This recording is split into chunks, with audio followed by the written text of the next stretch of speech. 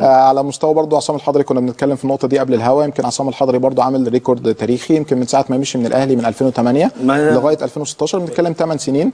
لف في أندية كتيرة جدا إسماعيلي زمالك آه، اتحاد آه، وادي دجلة يمكن ده اللي جوه مصر وكان في بره مصر كمان.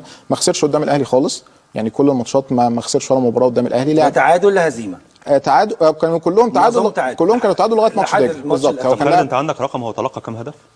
من الأهلي آه. هدفين فقط هدفين في كل آه، السنين آه، دي؟ آه. واحد من يا مصطفى ريتنا سيبناه في الزمالك واحد يا ريته قعد في هو الزمالك دخل فيه جولين والاثنين كانوا مع الإسماعيلي واحد من مصطفى شبي- شبيطه كان كان. شوطة من من بعيد كده ودخلت خلص واحد وخلص واحد. واحد واحد آه. والسنة اللي فاتت واحد واحد برضه مؤمن زكريا ركلة جزاء يعني هدف منهم كمان ركلة جزاء. يعني من كرة ملعوبة هو هدف واحد بس بتاع شبيطة. أربع ماتشات مع الإسماعيلي ما دخلش فيه غير هدفين. مع وادي دجلة ال round الأولاني كان تعادل سلبي الس- ال season ده. وده بقى سادس ماتش ليه وأول فوز. يعني هو بقى قدر إن هو على يفوز فكرة على لغة الأرقام لغة جميلة لغة بت... طبعاً، طبعاً.